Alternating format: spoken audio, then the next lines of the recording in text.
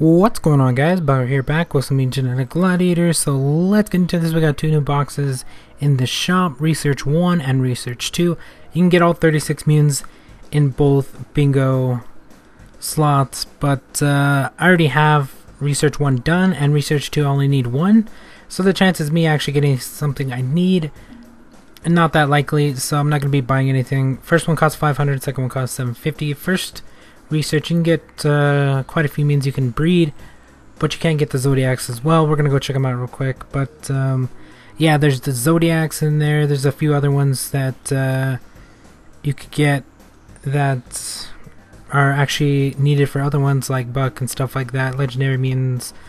So if you do need like at least like half of them, if you're missing like half the list on Research One, definitely buy it. You're probably the likelihood of you getting something you need is really high. Same with research too, as you can see, I'm almost done with it. So spending 750 gold on it is not really going to help me out because all I need is Space Princess. So yeah, I'm not going to be buying it, but you can get all 36 mutants. Doesn't matter what's in there. First one, Zodiac, stuff like that. Uh, this one actually has the Exofish, I believe that's what it's called, for these Zodiacs as well.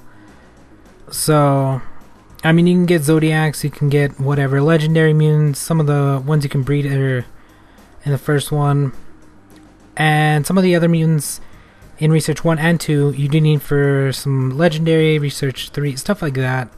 So you might as well try it if you have like half of the board that's blacked out. But uh, other than that, I wouldn't really go for it because the chances of you actually getting something are probably pretty low. Probably have to buy a few boxes, and they're pretty expensive. But it's really up to you. Thank you guys for watching. Hope you enjoyed, and we'll talk to you guys next time.